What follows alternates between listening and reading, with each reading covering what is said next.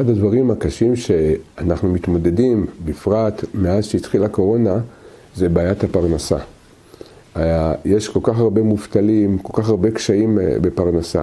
כיצד אנחנו מתמודדים עם נושא הפרנסה, שלמעשה מקיף כמעט את כל המדינה ואת כל החברה שלנו?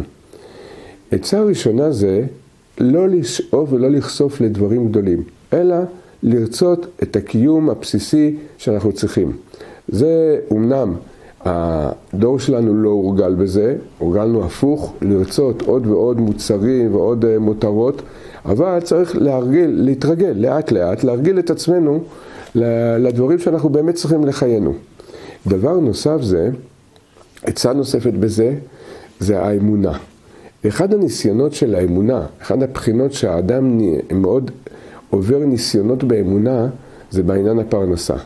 להאמין שאין עוד מלבדו והוא זן ומפרנס לכל, ולכן אנחנו צריכים להתחזק מאוד באמונה שרק הקדוש ברוך הוא זה שבעצם קובע ומשפיע לנו את הפרנסה. והצדיקים אומרים שכדי להתחזק באמונה שהקדוש ברוך הוא היחידי שמשפיע, זה להגיד את ברכת המזון בכוונה. ואנחנו אומרים בברכת המזון זה ברכת הזן את הכל.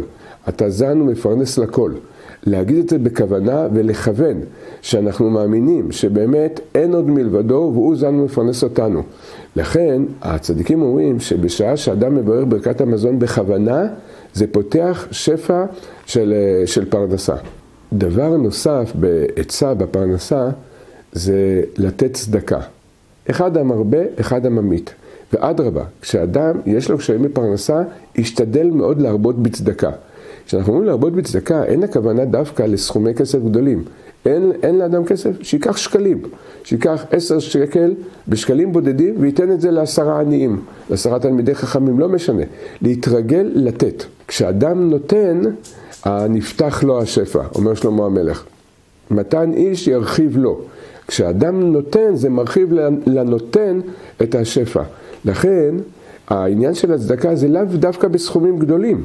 זה, זה, על זה חז"ל אמרו, אחד המרבה ואחד הממית, ובלבד שיכוון ליבו לאביו שבשמיים. אז העצה של הצדקה זה עצה שעוזרת מאוד מאוד בפתיחת סייעתא דשמיא ושבע בפרנסה. דבר נוסף שאומרים הצדיקים זה שאדם ישתדל מאוד לשמור על הדיבור. מה זה לשמור על הדיבור? לא לדבר לשון הרע. להתרחק מאוד משמיעה ודיבור דברים לא טובים על מישהו אחר. מה אכפת לנו? למה, למה עלינו לדבר דברים לא טובים על אחרים? גם אם זה נכון, גם אם זה לא נכון, זה לא משנה. שמירת הלשון פירושה, אנחנו לא מדברים דיבורים לא טובים על אף אחד.